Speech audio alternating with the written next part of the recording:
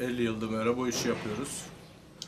İmalatımız vardı. Artık e, şeyleri geçtiği için e, şu anda e, ufak tefek kalaylarla idare ediyoruz yani. Şeyimizi sürdürüyoruz. Nasıl başladık mesleğe? Valla çocukken çıraklık işesinde başladık. O yıldan bu yana devam ediyor. Kaç E- yaşlarında başlamıştık? 9 yaşında başladım. 9 yaşında.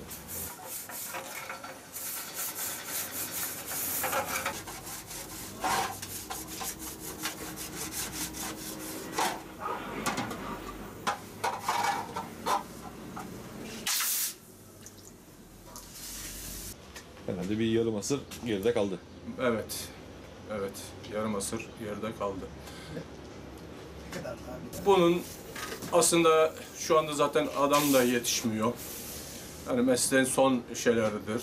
Onun için e, yetiştirmek çok zor. Zaten e, teknoloji biraz işi biraz şey yaptı. O yönden hayatımızı bu şekilde şimdilik sürdürüyoruz.